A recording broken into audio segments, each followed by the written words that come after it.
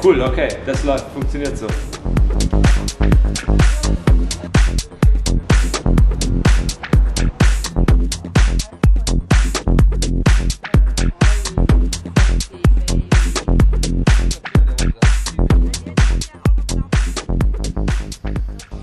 Mir hat's gut gefallen, wir haben sehr viel gelacht, wir haben Tränen gelacht, wir mussten teilweise unterbrechen, weil wir echt fast geheult haben vor Lachen, weil eben der John dabei war und weil halt paar lustige Gestalten am Start waren.